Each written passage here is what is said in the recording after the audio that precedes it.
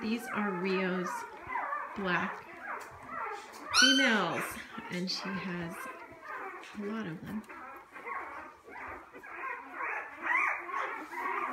Eight, I think. One, two, three, four, five, six, seven, eight.